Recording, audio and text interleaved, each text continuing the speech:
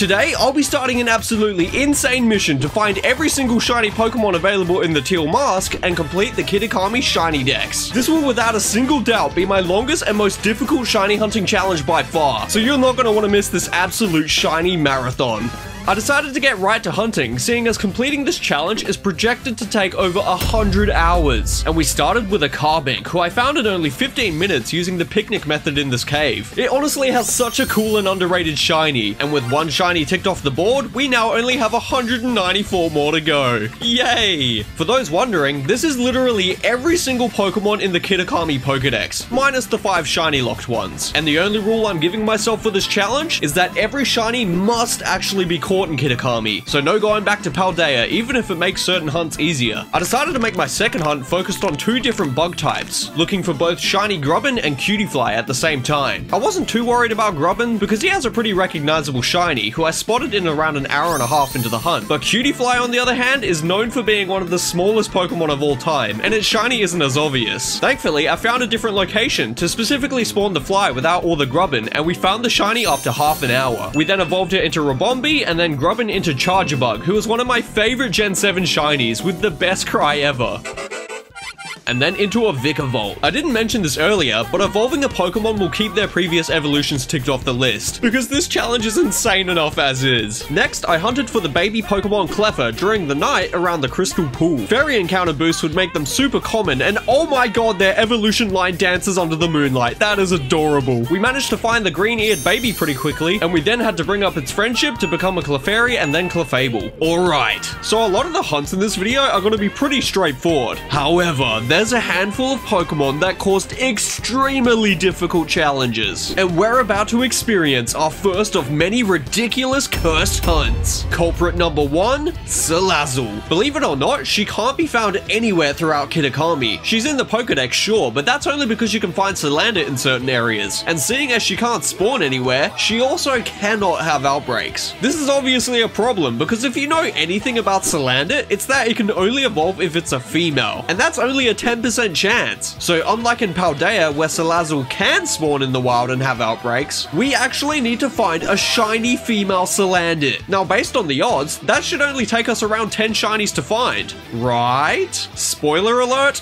the odds were not in my favor. The only good thing about this was that with fire encounter boosts, we could exclusively get a bunch of the lizards to spawn climbing up this mountain very easily, and the shinies were showing up extremely quickly to begin with. Seeing us just over two hours into this hunt, we had somehow scored ourselves 9 shinies, all of them being male unfortunately. Fast forward an hour and we had reached our 10th shiny, hitting the average odds for a female. Unfortunately, this was not it. The hunts were then starting to get much slower and it was getting extremely repetitive already. Shinies 11 to 14 took 2 hours to find and to no surprise were all male. And fast forward another half an hour to shiny 15, who believe it or not was male. Surely we'll actually get a female in the next shiny, right? Well in fact, our next shiny wasn't even Salandit. It was actually this Growlithe that would occasionally spawn in this one spot. I mean, I'll take it because we still need him for the challenge. But no, for real, this hunt was really getting to me. Not because I've lost patience in looking for the female, but because that even after evolving the Growlithe to Arcanine and ticking Salandit off the list, we still had 183 more shinies to go. And this is already after nearly 9 hours of hunting. I just had to move on to other hunts to actually feel like I was making progress. So I started to look for more new and returning Pokemon added in the DLC, starting with Vullaby. I used Dark type encounter boost to get as many to spawn as possible, and the baby Vulture appeared in around 40 minutes. We then evolved it into Mandibuzz, who actually looks pretty cool. And then I moved on to a Sewaddle outbreak. Any Pokemon from the Unova region is one that I'll always be happy to hunt, seeing as Black was the first Pokemon game I ever played. And just like Vullaby, the shiny took 40 minutes to find. It's a pretty strange shiny, and the same thing can be said about its evolution Swadloon. Unfortunately though, despite how much I love Leavanny as a Pokemon, this shiny kinda sucks. Our next three hunts would all be nighttime themed, starting with Hoothoot. I again found a great spot to isolate the spawns, and this yellow owl shiny actually looks so good. Unfortunately, Noctowl makes it a lot less vibrant and more of a gross yellow color. Then came Volbeat, who would spawn all around these rice fields, and damn, this is actually a really cool looking shiny. Illumise was for whatever reason a lot more rare of a spawn, so I decided to find an outbreak to Hunter instead of type encounter boosts. And damn, this shiny's even better! Look how cute they are together. I then used fighting type boost to isolate Timburr spawns just past the Kitakami Hole, and after finding this pretty mid shiny, we then turned him into its pretty mid shiny evolutions. Gurdurr, and then after trading him away and back, Conkeldurr. The next hunt, I ended up finding two shinies I wasn't even looking for, seeing as I went to the Paradise Barrens to use rock type boosts for a shiny Nosepass. But right after I teleported there, I came across a green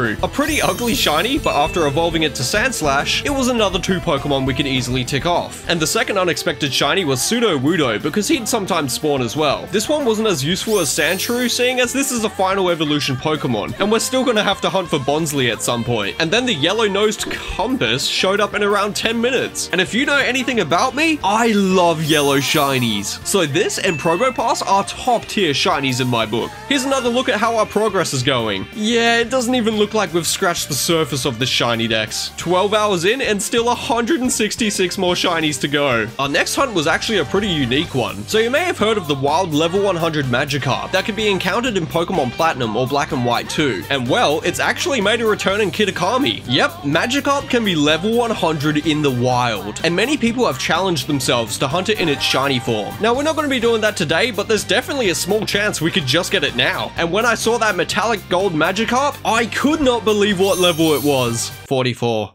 It was level 44. Well, luckily I love Magikarp, and we evolved him into the iconic Red Gyarados. I then went to the Infernal Pass, where we could exclusively get Geodude spawning with encounter boosts, and we managed to find the Yellow Nugget in only 15 minutes, who then became a Graveler and needed trading to become a Golem. Next up, I went to an Ekans outbreak, which wasn't the best, but I luckily found this long boy after half an hour. And although the Green Snake is pretty cool, the Yellow Arbok I think looks fantastic. And wow, I'm actually surprised I've gone this long in Kitakami without hunting for an adorable tiny Wooper. Such a cute little guy whose pink shiny avoided me for nearly two hours. But the wait was totally worth it for this baby Axolotl. And my love for this Pokemon continues through its evolution because Quagsire is just such a funny chill guy. Just look at him. And then came a shiny that doesn't feel remotely new to Kitakami for me. And that would be Swinub, seeing as he accounts for around 50% of the shinies I find in the Alabaster Icelands and Legends Arceus. We eventually found this green pig thing and moved on to hunting a little acorn. I honestly really like Seedot's evolution line,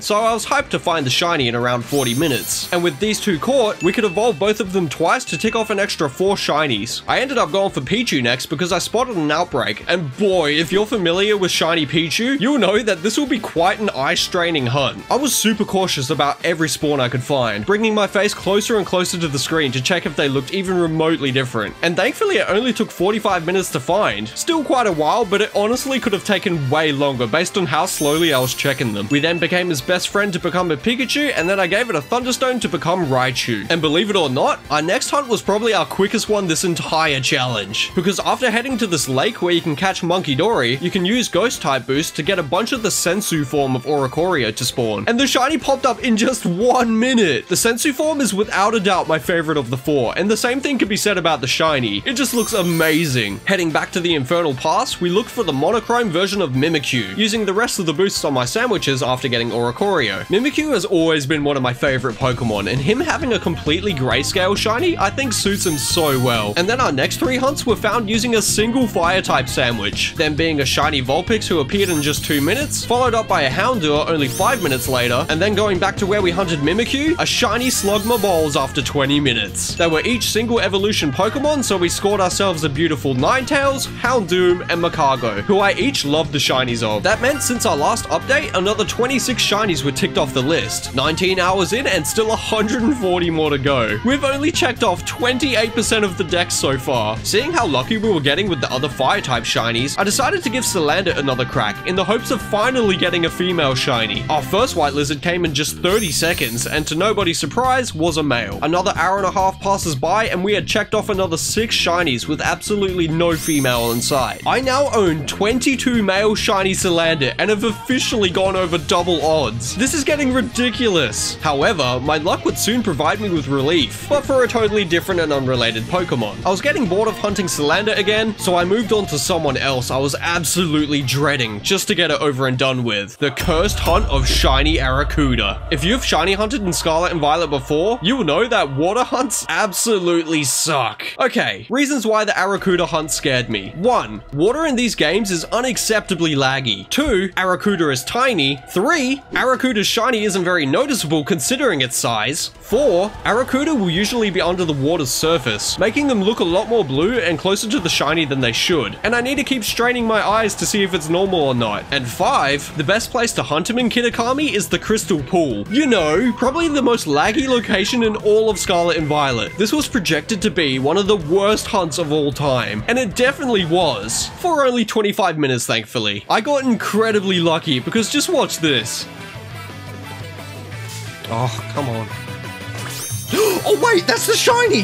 What? I just accidentally bumped into that. Oh my god. I somehow bumped into the shiny on complete accident and it showed up way quicker than I was expecting. I was so happy with how immediately this hunt ended and we evolved it into a Barraskewda. We may have gotten lucky this time around, but Tynamo? Oh god, that's gotta be torture. Okay, I think it's time to rapid fire a couple of things. Because as you may have noticed, even at this fast pace, I don't think we're gonna be able to fit everything into one video. Our next hunt was for my all-time favorite shiny family, the Ralts line. And we managed to find a shiny female in around an hour and a half, who became a Kirlia and then into a perfection of a shiny Gardevoir. Gallade's just gonna have to wait to be ticked off because I then went looking for a Spoink, who was caught in under 20 minutes, followed up by this amazing looking Noibat, who has one of my favorite favorite shinies in X and Y. And then came a Bronzor 8 minutes after. I evolved each of them into a Grumpig, Noivern, and Bronzong, with Noivern definitely being the goaded of the three. Next came the Steel Gummy Worm Orthworm, whose blue shiny just looks incredible. And speaking of blue shinies, I managed to find a Pawniard within 5 minutes. I evolved him into Bisharp and then had to do the weird evolution quest by giving him a leader's crest and knocking out 3 Bisharp in a horde of Pawniard to become the badass samurai looking Kingambit. And the last shiny before we have another look at our progress will be Pachirisu. This one was painful, and was by far the longest I had gone this entire challenge without seeing any shinies. Basically, outside of Mossui Town, I can use electric type boosts and exclusively spawn the little squirrel, but the pink shiny just would not spawn. I don't even want to know how many times I lapped this area because I went over three hours with nothing to show for it. I don't know where my luck had gone, and the worst thing is, Pachirisu is a Pokemon without any evolutions, so it's only going to tick one Pokemon off the board, as opposed to some others that can tick off three with their evolutions. I eventually finally found this little rodent, and you're just lucky I really like your shiny, buddy. We had now ticked off 71 of the 195 targets on the board. Over 26 hours in, and that's only 36% of the shinies collected. I don't know why I didn't expect this to be such a gauntlet. However, our next hunt had something pretty crazy happen. Basically, as I was hunting for one of my favorite Generation 1 Pokemon, Koffing, I ended up finding a shiny after around 45 minutes. His turquoise color scheme with the purple smoke honestly looks so good, so I decided to get a few selfie shots with him. And as I exited the camera to go on to catch him, I spotted a second one off in the distance. I absolutely love it when two shinies spawn at the same time. Also, you wouldn't believe the amount of times I had to reload the game due to them killing themselves with Memento or Explosion. I think it was like six or seven times between the two. We evolved one into Weezing and then Lotad was next. And if you saw my last video, you'll know how much I love this extremely weird looking shiny that appears as if his textures were corrupted or something. And because you can't use the camera in the water, I had to get a shot of him from the land and it made it look like he was just staring into my soul. He then became a Lombre and Ludicolo and we're going to be continuing the water theme for quite a while. Ducklett was next and was hunted using the isolation method, and we found this perfection of a pink baby in just 5 minutes. Unfortunately, evolving it into a Swanna is nowhere near as cool, but it's still a great shiny nonetheless. The next two water type hunts were also extremely quick, seeing as I found a shiny Surskit in an outbreak in just 10 minutes. And literally as I was attempting to knock out 60 Corphish in this outbreak, the shiny popped up in only 2 minutes. He's such a silly little crab and I love him. I then evolved them both into shinies who I really don't like, and it's not hard to please me when it comes to Pokemon and shinies, so that's just saying something about these two. To end off this water type shiny exhibition, we hunted for Poliwag, a shiny that is actually pretty cool and is quite noticeable in most games, but due to the lighting and textures in Scarlet and Violet, it is much much harder than I was expecting. Thankfully I had a good outbreak, and due to shiny hunting literally being my job, I was able to spot the very subtle difference when I passed by. Poliwag is such an adorable little guy, and we evolved him into Poliwhirl and then Poliwrath. I heard you can apparently hunt Politoed on its own, so I didn't bother with finding a second shiny in this outbreak. Okay, so I actually did plan on getting another water type next, and that would be Feebas. However, hunting Feebas regularly would be pure evil because he is such a rare spawn. But if you're lucky enough to get an outbreak in the right spot, you can get the shiny with ease. The only problem is actually getting an outbreak. For some reason, it is like impossible to find, at least from my experience. I had level 3 water type boosts on and spent 2 hours date skipping in the hopes of finding one. And to my surprise, it just never showed up. Literally just getting the outbreak is taking significantly longer than what I'd imagine the actual hunt to take. So I gave up on that idea for the time being and just went on to a different hunt. Unfortunately though, even after 2 hours of date skipping, our next target took almost 2.5 hours to find. And that would be Petilil, a Pokemon with a pretty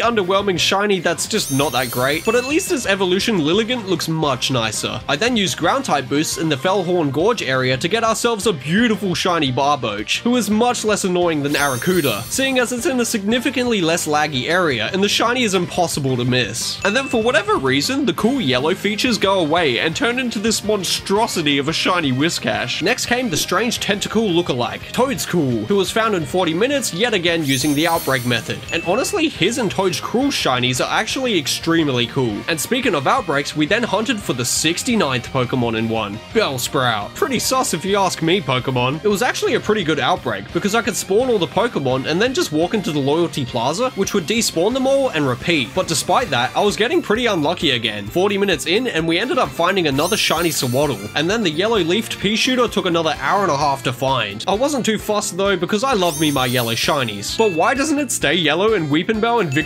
It's honestly such a downgrade. At this point, we had checked off 94 shinies, meaning 101 remain. Almost halfway there now. We were also 34 hours in now, which was actually a much faster pace than I was anticipating. The next hunt was pretty funny because I just couldn't stop getting shinies I wasn't looking for. Basically, I had this Spinarak outbreak who I was super excited to hunt for because I love shiny Spinarak. However, when I left the outbreak to despawn all the spiders, I first stumbled upon a shiny Yanma, which is great because we still need him, and then a second blue Only 8 minutes later, who we evolved into Yanmega, and then literally 20 minutes later, a duplicate shiny Lotad. This clearly wasn't the best outbreak, so I decided to find another one. Yet the blue Spinarak still took over an hour and a half to find, but it was totally worth the wait for this absolute beauty who we evolved into Ariados, which also looks incredible. I then found a Litwick outbreak near the Crystal Pool and hunted it during the night. We managed to come across this baby candle after no longer than half an hour and we evolved it into a lamp and then into a chandelier. And you know what? On the topic of fire types, I think it's time we finally return to our hunt for a female shiny Salandit. This time, I wouldn't be given up until I find that elusive monster. I can't really say I was too thrilled to be doing laps around Oni Mountain again, but my determination to get Salazzle ticked off the list outweighed my fear. Another two hours went by with another five shiny male Salandit. This is actually getting out of hand. Were my sandwich boosts somehow preventing females from spawning? No, it couldn't be. I kept accidentally bumping into regular females all the time. Another hour and a half of boredom flew by with yet another four male lizards. I was now over triple odds for a female, but thankfully, only three minutes after my most recent shiny, I found the target I never thought I'd find.